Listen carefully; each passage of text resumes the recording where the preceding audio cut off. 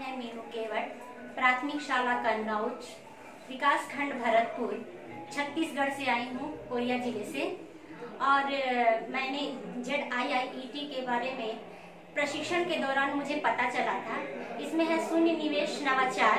इसमें बिल्कुल भी इन्वेस्ट नहीं करना है और अपने आइडिया के बारे में बताना है। मैंने ट्रेनिंग के दौरान जो भी सीखा और जो भी इसके दौरान मेरे को जानकारी मिली मैंने तत, जैसे ही स्कूल में गई और स्कूल में जाते ही मैंने उनको प्रक्रिया शुरू कर दी। मैंने एक खाली कार्टून का बॉक्स लिया जो स्कूलों में सोया दूध प्राप्त होता है उसे जो का, कार्टून खाली होता है मैंने उस कार्टून को लिया और उस कार्टून में जो हमारे छत्तीसगढ़ शासन से एमजीएमएल कार्यक्रम कुछ समय पहले शुरू पिछले सत्र में हुआ था जो अब लगभग सभी स्कूलों में बंद हो गया है। मैंने उसी पर जो कार्ड हमको शासन के दौरान उपलब्ध हुए थे एमजीएमएल के लिए, जिसके साथ ने इतना खर्च किया था और अतिरिक्त कक्ष बनवाया, डेंटिंग, पेंटिंग करवाई, परंतु कोई लाभ हमको बच्चों के ऊपर कोई गुणवत्ता नज़र नहीं आ रही थी।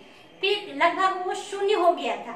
मैंने उन्हीं कार्डों का उपयोग किया। मैंने बच्चों को अपनी गतिविधि के दौरान बच्चों को उस रूम में भेजा। मैंने कहा, आपको जो भी कार्ड पसंद हो, सिर्फ़ उन्हीं कार्ड को उठा के लाना।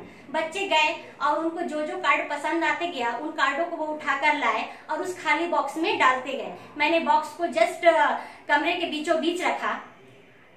और बच्चे जो भी कार्ड उसमें डाले थे दूसरे बच्चे आते उस कार्ड को देखते। गाय का कार्ड उठाया है, क्या है? गाय का कार्ड है। इसके बारे में वो स्वयं बोलेगा, गाय के बारे में। और फिर अदर बच्चा, जो चार वाक्य वो नहीं बोला है, उसके बारे में वो बताएगा। तो चार वाक्य, इस बच्चे के चार वाक्य, उस वाक्य के, बच्चे के कुल मिलाकर आठ वाक्य हो जाते। धीरे धीरे एक निबंध की प्रक्रिया शुरू हो जाती। इसके बाद में दूसरा बच्चा आया। उसने क्या किया कि कुत्ते वाली कार्ड उठाई। परंतु मैंने पूछा, बेटा, ये क्या है? उसने कहा, मैडम, ये बकरी है। मतलब वो बच्चा उसके विषय में शून्य है। उसकी पहचान जो है, जानवर के प्रति शून्य है। तो इसके लिए मैंने दूसरे बच्चे को बुलाया। मैंने कहा, ये क्या है? उसने बकरी बताया। तो मतलब जो बच्चा कार्ड उठाया, उसको जानकारी नहीं है, दूसरे बच्चे को जानकारी है तो वो एक दूसरे से मिलकर ही शिक्षा प्राप्त कर सकते हैं। मैंने बस यही प्रक्रिया की इसमें मुझे बहुत सारा लाभ प्राप्त हुआ है।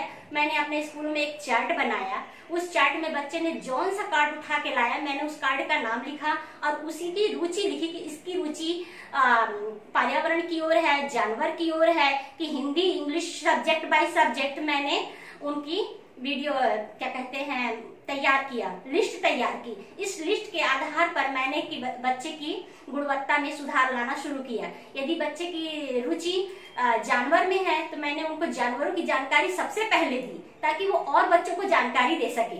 और दूसरा, जो बच्चों की पर्यावरण में जानकारी है तो वो पर्यावरण से संबंधित जैसे दिशाएँ कितनी होती हैं हमारे आसपास कौन से पेड़ पौधे लगे हुए हैं उनमें फूल कि, कब किस मौसम में आता है कौन सा फल कब खाते हैं ठंडी का मौसम किस महीने में आता है ये सब की जानकारी एक दूसरे के ज़रिए मैंने बच्चों को दिलवाई आपस में ये लोग चर्चा करते हैं और जो जानकारी नहीं होती है मैं उनको जानकारी देती हूँ। इस तरह से मैंने बच्चों को काफ़ी गुणवत्ता बच्चे के अंदर लाई है। इसके बाद ये शून्य शिक्षा में शून्य निवेश नवाचार बहुत ही लाभदायक सिद्ध हुआ है हमारी शिक्षा जगत में। और शिक्षा जगत का जादू ही है ये कि बच्चों की गुणवत्ता में दिन प्रतिदिन सुधार होता जा रहा है। धन्यवाद, अरविंदो सोसाइटी, जिन्होंने मुझे इतना बड़ा मंच प्रदान किया। और आज मैं दिल्ली में इतने बड़े मंच के पुरस्कार के लिए आमंत्रित हुई हूँ। धन्यवाद।